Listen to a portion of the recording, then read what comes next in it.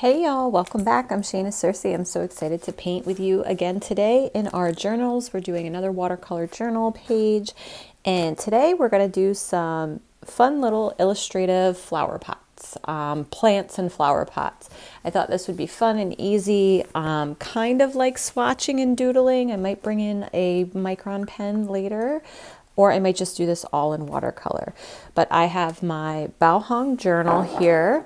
I am looking at some other journals because I know this one is actually quite difficult to get. It's been out of stock a lot, and some folks have been really asking what would alternatives be.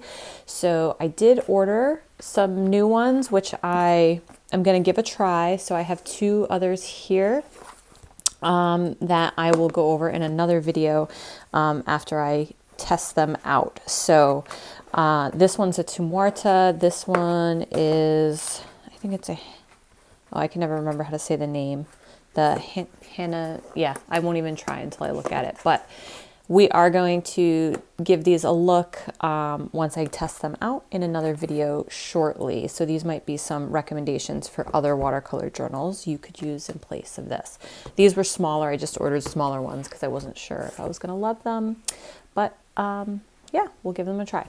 So let's do some flowers. I have my Baohong journal. I have my Qor watercolor palette here. We got some old colors from our last video from the Poppy. Uh, let's just war or water these down. And then I have a size 10 Velvet Touch brush. And then I also have a new size 4 Velvet Touch brush. So I'm probably going to use these two for some small little delicate flowers and leaves. So let's get started. So what I want to do is just make some fun, play with some colors and shapes of pots. I'm not going to draw anything, um, but this can be a great time to kind of experiment with color palettes. I think I say that with every video, but I do love experimenting with color palettes. You could have some bleed proof white on hand as well as um, a micron pen or another gel pen um, to add some details later. But let's just get started with some shapes. So I'm just going to kind of go across um, making different pot shapes. So this one's going to be like rounded, a straight top, rounded bottom.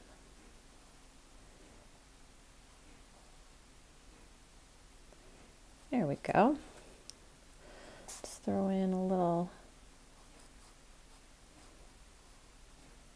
more color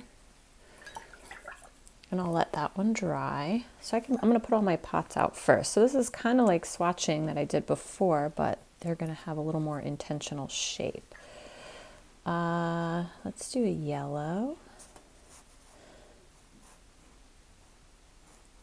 This one I can make a little more square.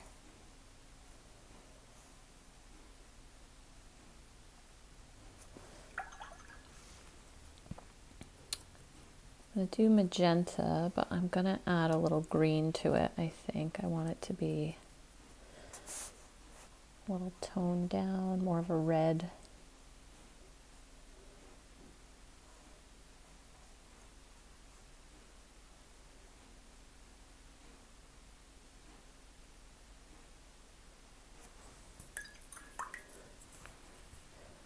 Let's go back into this blue. I'm going to put some green in it.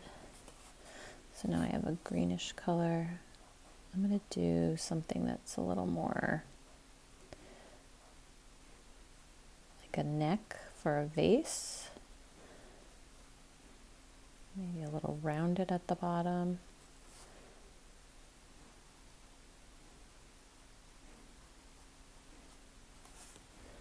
There we go. Add a little dollop of blue in there.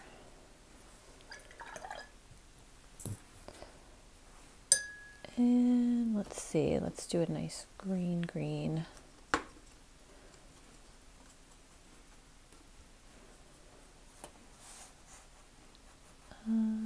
here, this one we'll do like a long. You don't have to vary the shapes so much. You could just do like the same one over and over again. Let's do one in between. I'm going to do another yellow.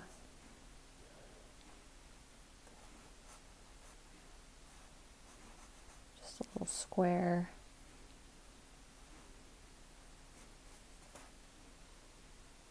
These definitely don't have to be perfect.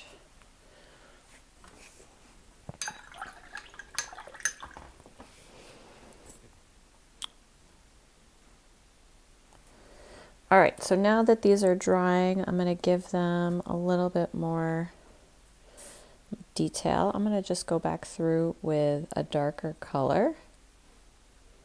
Throw some stripes on. You can do basically in the same colors. Just another layer to make it darker, slightly darker just to give them a little personality. These are still wet down here.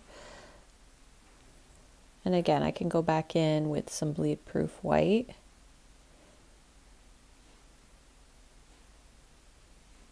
To do some white details.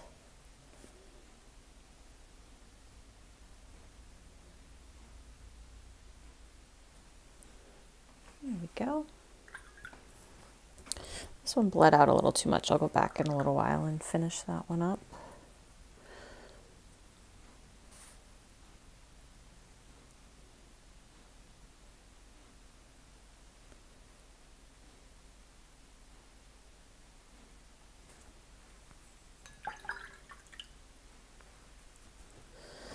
All right, so we have some little pots. We can always add more details on later. I'm going to get out my little number four brush and I'm going to start to add some flowers and some greenery. So I'm going to start with this one right here. And I'm just going to put in some petaled flowers. So leaving white space in the middle. I'll put a center in later, but just, and then we'll do some on their side like this. Another one on its side. So you're only seeing the side of the petals, maybe another one here that kind of is forward facing.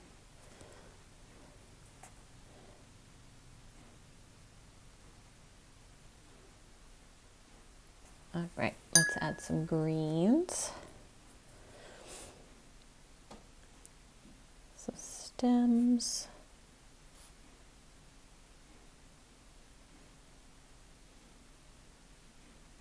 And then we can also add some leaves.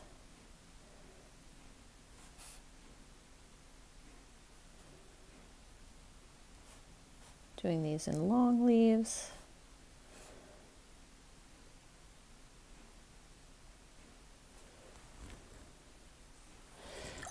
And then we can give these centers. Let's do a yellow center on these.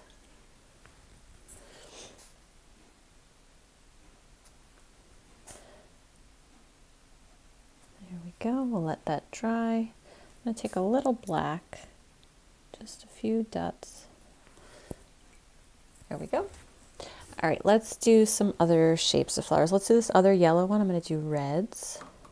Do something tulip reminiscent, so some tulip shapes, which is just basically kind of like an egg shaped. And we'll have them kind of splay all out like a rough egg shape. You don't want them to be too perfect.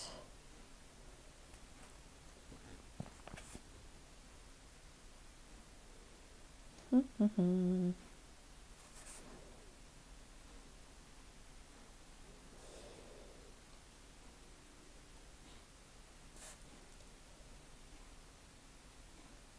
There we go. Now that we have all of those in, let's get in. I'm going to use sap green and phthalo blue to make like a much cooler green, blue green color, darker, a little more saturated. for these.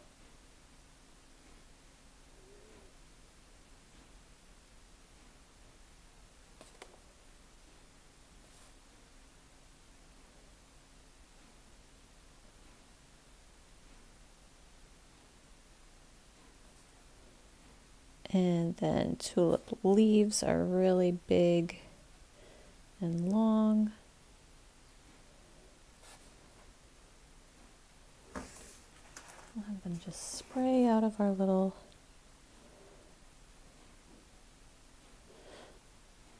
So something like this can really help you work on brush control and uh, painting in smaller spaces to really start to get the use of understanding the tip versus the belly of the brush. Um, even though it's very simple, I'm just going to add a few more leaves to this in this darker green color.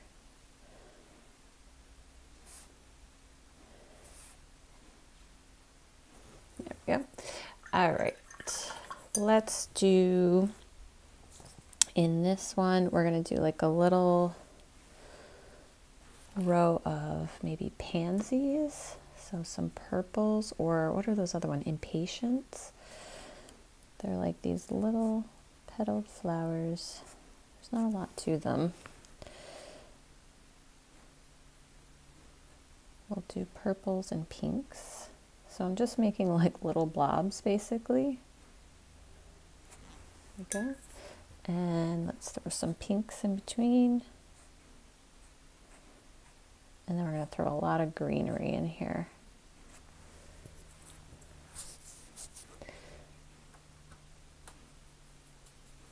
And I'm going to put down a layer of like this yellow green first to give it some highlights.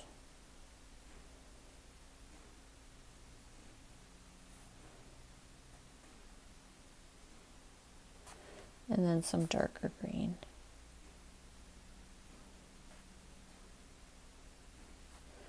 Basically, I'm just tapping in different green colors. Spilling out the sides just a little bit. There we go. And I keep kicking. Uh, I have to set up this a little differently next time because I keep kicking the rug, which is attached to the leg of the arm. I'm so sorry. Okay, what else we got here? Uh, we could do something blue, maybe over here. Or, oh, let's do like some yellow, like flowers, almost like black eyed Susans. I'm doing the petals first. Usually I do the centers first on something like this. Just kind of imagining where the center will go. Little Payne's Gray.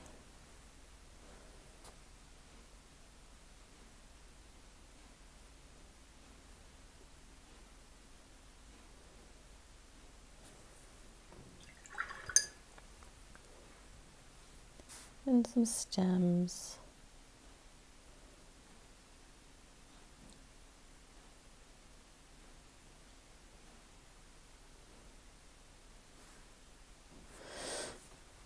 There we go. And you don't have to overthink these. They can just be messy and fun. This one got very messy. I should have waited for a few things to dry first, but you know, we're just playing. We're just playing and doodling, paint doodling. Let's do just some greenery in one of these. So let's get, um, I'm going to use green gold, which is this very yellow green vibrant looking. And I'm going to do kind of these long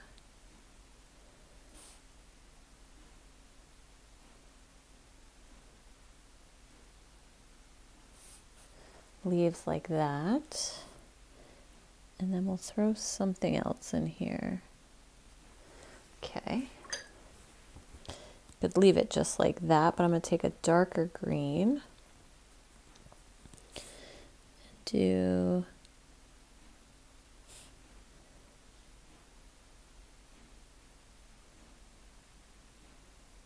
almost like some eucalyptus.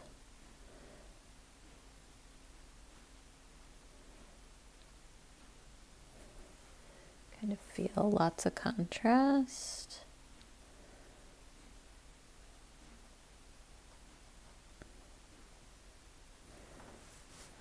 There we go. That one's fun.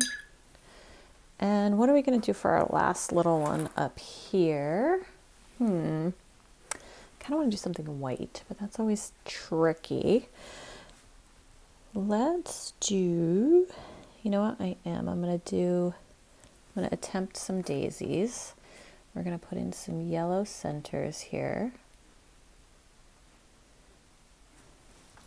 Okay, just a few yellow centers. And I'm going to use some very light Payne's Gray. So you can see here, well, no, you can't see here, but down here it's very light. And I am going to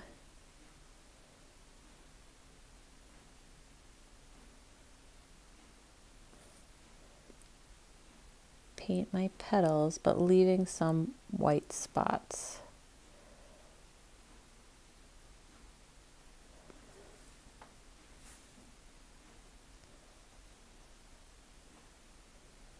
And then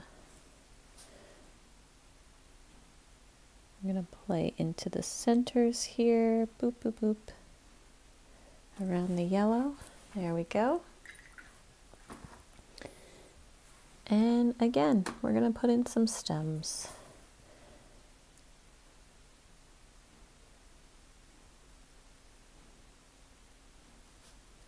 And some little baby leaves. Oh, I never paint this small. It's kind of fun. All right.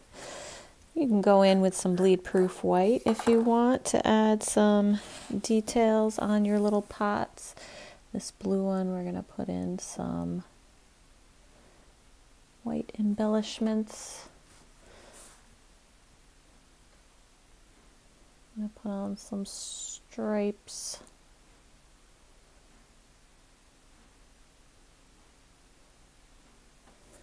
On there. What else?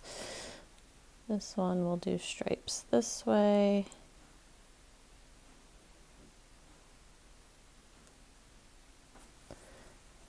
And this will do like little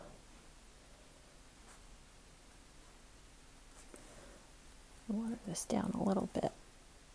There we go. Just a little pattern of rectangles. And instead of just white, you can also add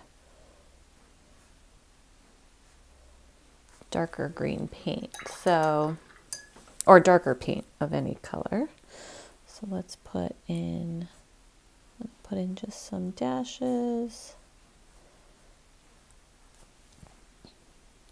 There, cute. And then for this one, let's just give it a different color on the rim and around here. Or we'll just make it striped. Love me some good stripes.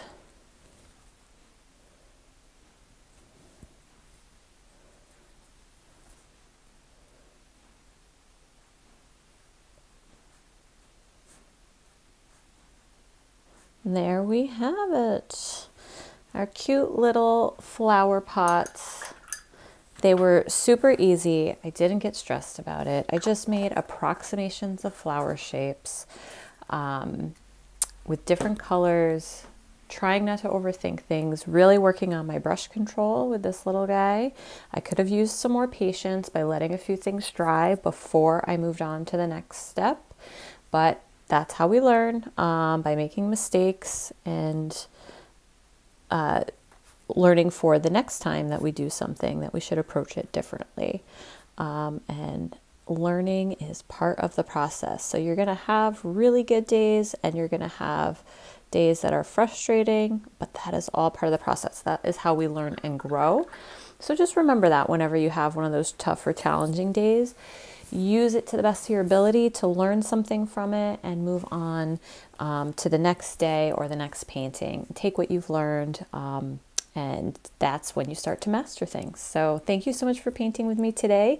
We'll be back soon for a new watercolor journal uh, page, and don't forget to check the description for supplies and materials that I use daily, as well as uh, follow me on Instagram. And I will see you soon. Take care, y'all. Happy painting.